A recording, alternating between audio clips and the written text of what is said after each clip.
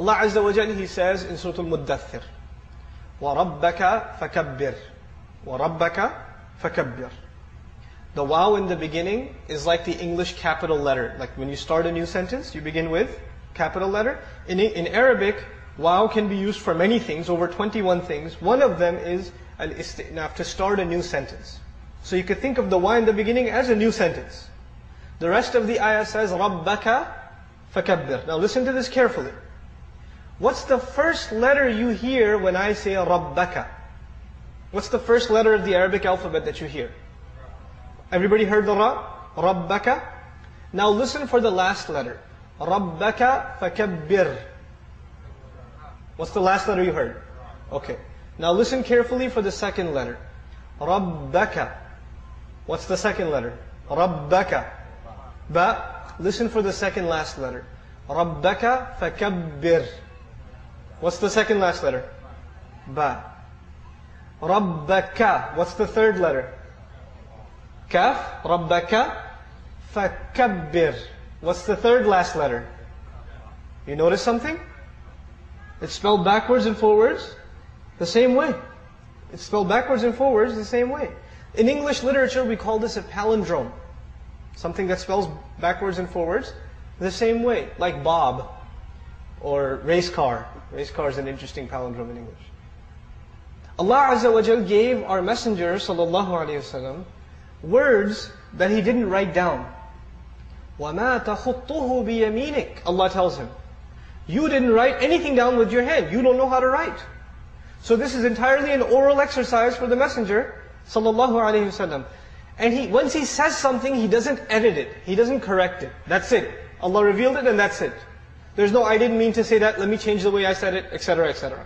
Right? It's exactly the way Allah instructed him to recite. The challenge for mankind is, you see, the ayah, the simple translation of the ayah would be, declare the greatness only of your Lord. That would be a simple translation of وَرَبَّكَ فَكَبِّرْ Try to say, declare the greatness only of your Lord in English, or French, or German, or Japanese, or Chinese, or Italian, or Russian, or Urdu, or Farsi. You pick the language. Say it so that it spells backwards and forwards the same way, and say it so you only have one attempt orally. No writing down, no looking up in dictionaries. How possible is that? Subhanallah. I can translate the ayah, but could I translate the miracle in English? If I tell you, declare the greatness only of your Lord, you get some of the message, but do you get the miracle? You don't get the miracle. The miracle of Quran is in the Arabic language. And this is just one small example. The Quran, every ayah has its own miracle.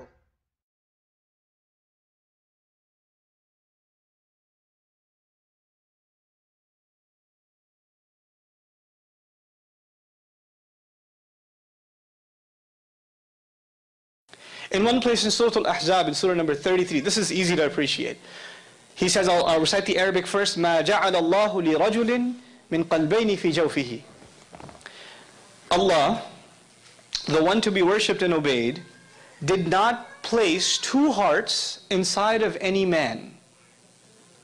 I'll say that again. Allah did not place two hearts inside of any, what did I say? Man. So obviously, who's being excluded here? Women are. Now if he said, he didn't place two hearts inside of any human being, now that would have been inclusive, wouldn't it been? But he used the word rajul, which is exclusive of women. It's specifically referring to men. And what's even more peculiar is the rest of the passage deals with women. It's very interesting. The rest of it deals with spouses and all of that. But the first part of it is particularly assigned to men. The other thing that's also peculiar, and I want you to remember, is that when hearts are mentioned, now where are hearts located? In the chest. And this is actually a figure of speech used in the Quran all the time. Al-qulub allati fi sudur. Hearts that are in the chests. In other words, the Quran commonly mentions that the hearts that are hearts are placed inside the chest. But in this particular ayah, I'm not going to say verse, ayah, instead of saying he didn't put two hearts inside the chest of any man, he used the word jawf, which refers to the entire body. It's not a restrictive term to the chest. He said anywhere inside of him, he did not place two hearts. Now this is the two peculiarity, peculiarities I wanted to bring to your attention. And this is kind of obvious. Because a woman can get pregnant. And if she does, she can have two or more hearts. But when she has those two hearts, they're not in her chest, but they are inside of her. So Jawf is more appropriate. Subtlety in language.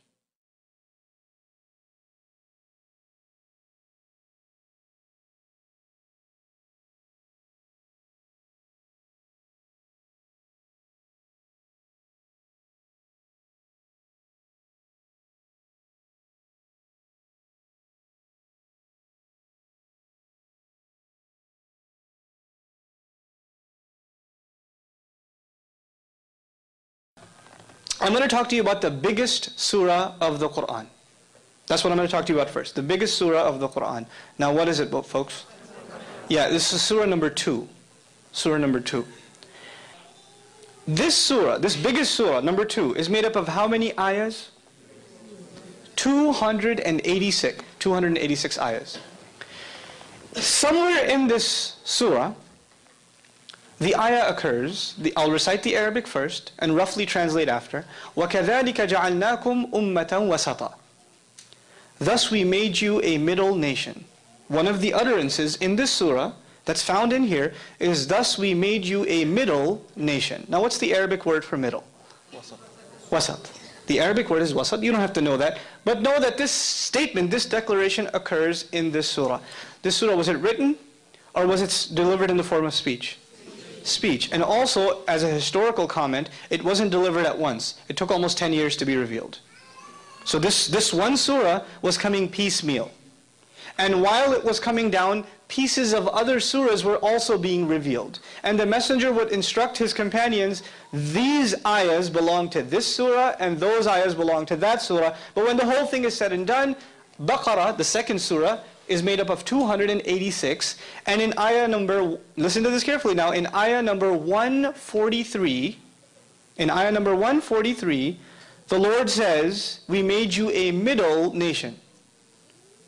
How many ayahs in this surah again?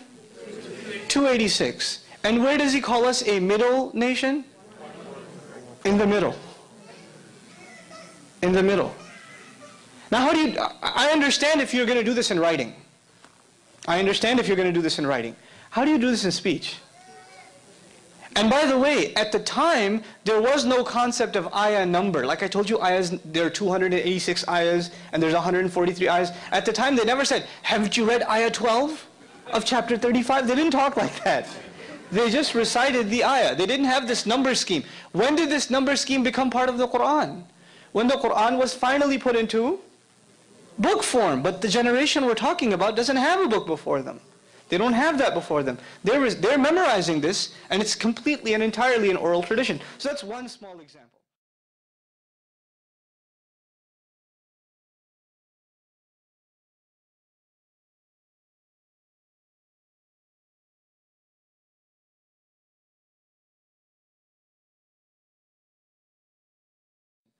the nobility given to Jesus in the Quran. I'll give you one remarkable example of it. Which nation was Moses sent to? The Israelites. Everybody knows that? The Israelites. Who's the original audience of Jesus? The same nation or no? The Israelites also? Yes. Okay. Now, Surah number 61, As-Saf. There's one ayah dedicated to Moses addressing his nation. And the next ayah is dedicated to Jesus addressing his nation keeping in mind that both of them, even though there's a big time gap between them, essentially are addressing which nation? The Israelites. They're the same nation. Okay. Now listen carefully. وَإِذْ قَالَ مُوسَى لِقَوْمِهِ يَا قَوْمِ When Moses said to his nation, begin quote, my nation, addressing them with what words? What was the first words used to address them? My nation. Ya qawmi, my nation. Okay, let's come to what Jesus said. وَإِذْ قَالَ عِيسَى ibn Maryam When Jesus the son of Mary said, Ya Bani Israel, sons of Israel. Sons of Israel. Now what did he not say? What did Moses say that Jesus didn't say? Okay, so Moses says my nation, but Jesus says sons of Israel. Now, sons of Israel is another term used for the Israelites, isn't it? Or the children of Israel. You know what we learned from that in Semitic tradition?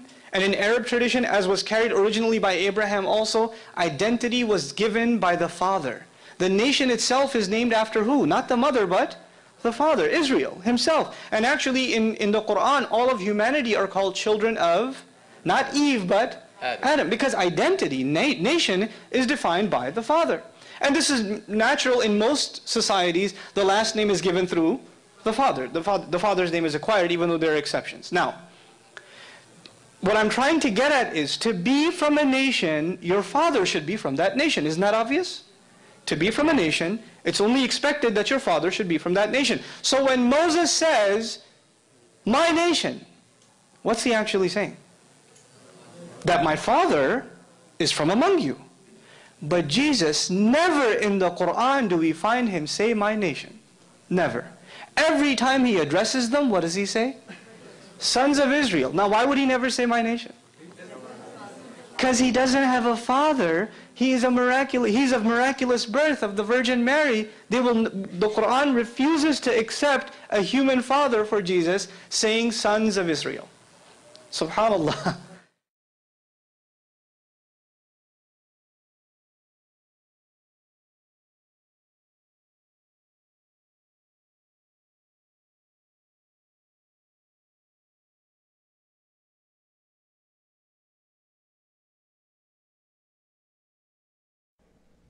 Shu'aib alayhi salam. You know he's a messenger, right? Okay? Now, as a messenger alayhi salam, he is mentioned numerous times in the Quran. Allah Azza wa Jal says to us, وَإِلَى مَدْيَنَ أَخَاهُمْ شُعَيْبًا To Madian we sent their brother, Shu'aib. We sent their brother, Shu'aib. Now, what I want to tell you is, what, what is the name of the nation to which he belonged? Madian. Now, Madian is the name of two things at the same time. You got to remember this, okay? Madian is two things. Madian is the name of a place, and it's the name of a people. The people are called Madian, and the place is also called Madian. And Allah says, To Madian we sent their brother, Shu'aib. In Surah Al-Shu'ara, Surah Al-Shu'ara, Surah number 26, Allah Azza wa Jal gives us the stories of different prophets. He says, إِذْ قَالَ لَهُمْ أَخُوهُمْ لوط إذ قال لهم أخوهم صالح إذ قال لهم أخوهم هود إذ قال لهم أخوهم نوح When their brother Nuh said to them, when their brother Nuh said to them, said to his nation. The next story goes to another prophet. When their brother Salih said to them, to his own nation. Then it goes to Hud. When their brother Hud said to them. Then when their brother uh, Salih, Salih, Nuh, Hud, alayhi salam, and Lut, four of them. Their brother, their brother, their brother, their brother. The fifth one mentioned is Shu'aib. Allah says when Shu'aib said to them.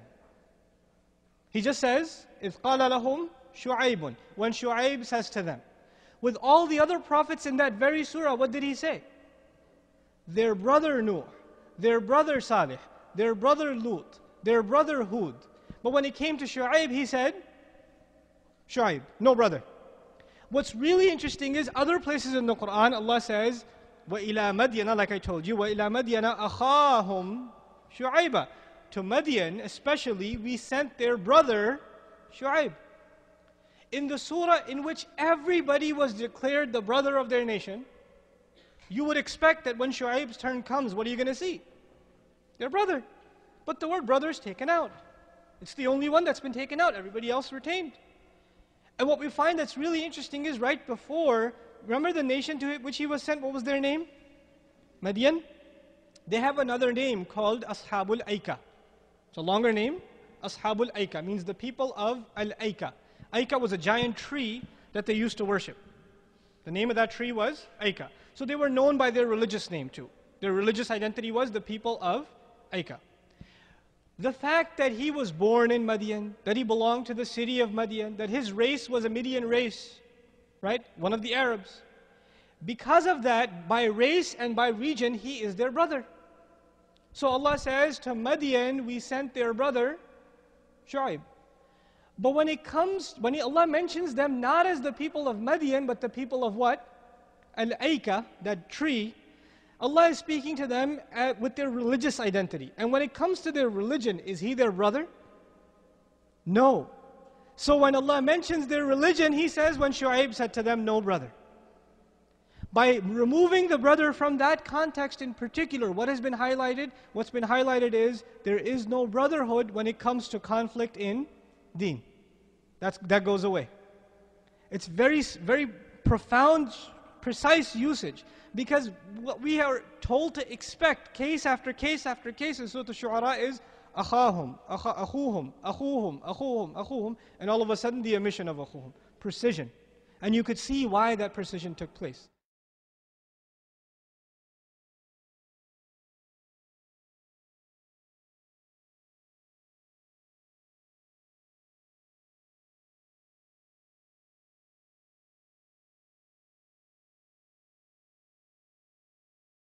You know that both the names you see on the screen, Yathrib and Medina, are they names of the same city? Sure. The Quran speaks about the city of Medina with the word Medina many times, but it only uses Yathrib once. Yathrib is used only in Surah Al Ahzab, that's it. There's no other place where Yathrib is used in the Quran. By the way, both are names of Medina. So you could argue from the devil's advocate point of view hey, they mean the same thing, right? So why don't I just change Yathrib to what? Medina. Or why don't I change Medina to Yathrib? You guys keep talking about Quran is perfect, intricate word choice. You guys know too that Yathrib and Medina is the same thing. So why not put one in the other's place? What's the big deal? What difference does it make? This is a study more so of history. Before the Prophet arrived, sallallahu alaihi wasallam, in Medina, what was its name? Yathrib after he came to the city, he was unanimously declared the leader of that city, and the city was coined Madinatun Nabi, the city of the Prophet.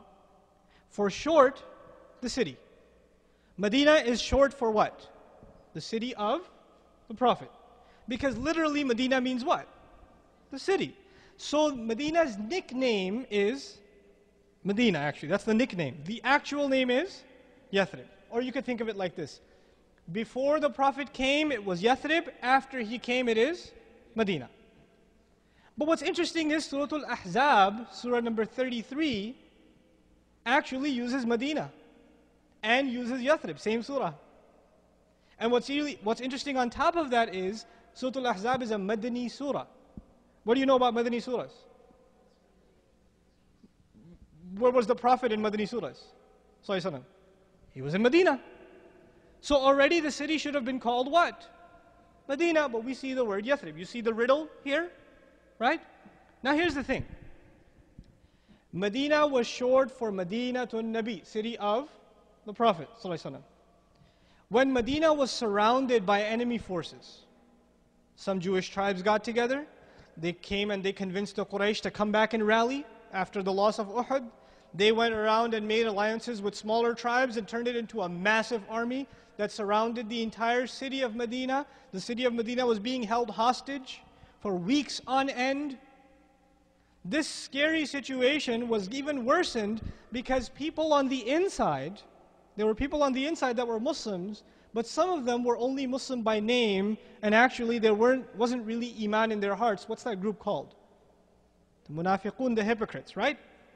Now, these, some of these hypocrites, before the Prophet came, sallallahu alaihi wasallam, they were the leaders of what city? They were the leaders of Yathrib. When the Prophet came, they had to give up their positions. They had to give up their leadership because now who's the leader? By default, Muhammad.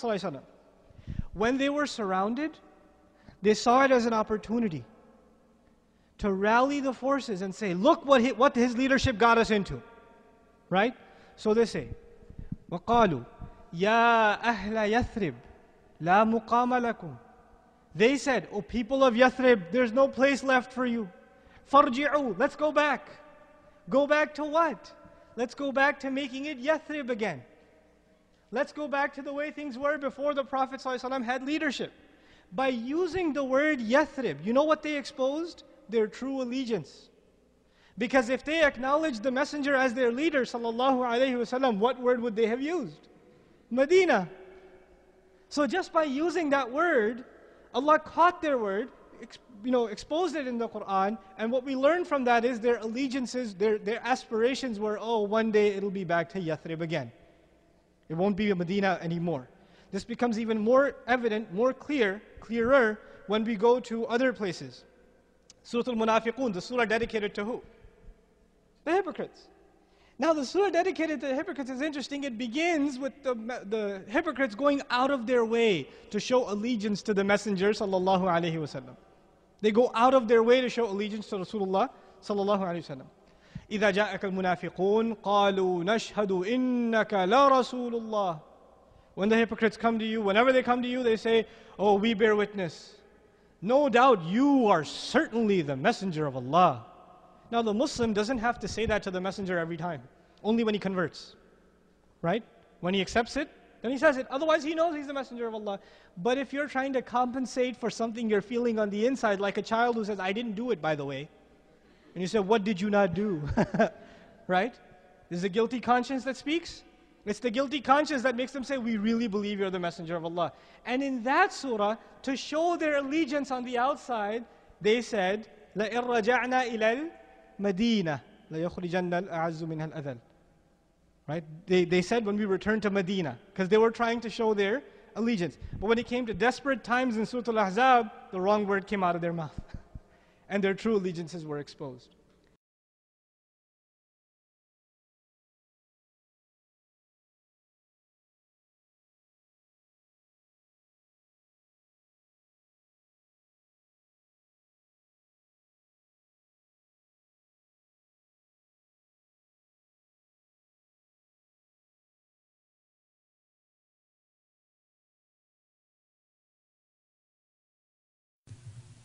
Look at this ayah.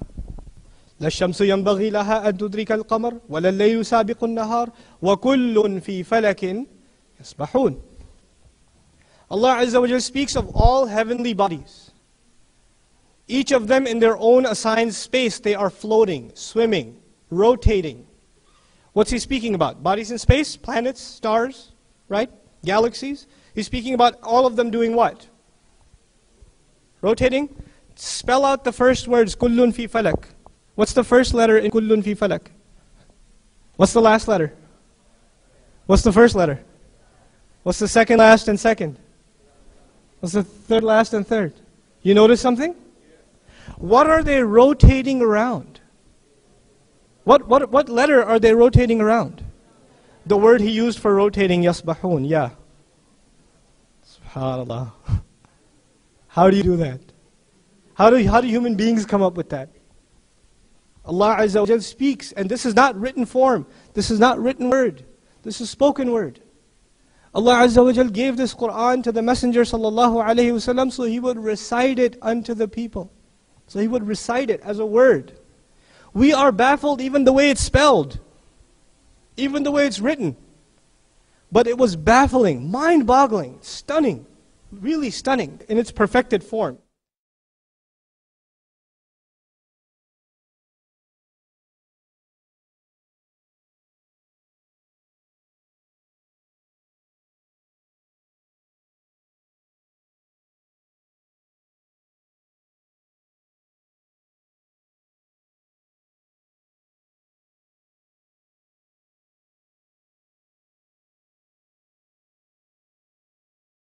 يقول سبحانه وتعالى إذا سألك عبادي عني فإني قريب Allah says, when my slave asks you about me, I am near, no doubt about it. I'll listen to the, the rough, coarse English translation. When my slave asks you about me, then I am certainly near. Who's you? Slave asks you about me, then I am near. Who's the word you referring to? The Prophet. Okay. So who's asking who?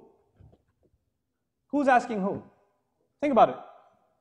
A Allah's slave, a believer, is asking the Prophet. So who's going to answer if the Prophet is asked? Who should answer? The Prophet should answer. So if the slave asks the Prophet about Allah, the Prophet should say, Allah is near. Yes? He should say, Allah is near. Look at this. The ayah, the expected language of the ayah was, إِذَا سَأَلَ وَإِذَا سَأَلَكَ عِبَادِي عَنِّي فَقُلْ لَهُ إِنَّ اللَّهَ قَرِيبٌ When my slave asks you about me, then say to him that Allah is near. Or say to him that I am near. What happens in the ayah, in fact, is when my slave asks you about me, oh, he asked you about me, I'll talk to him directly. I am near.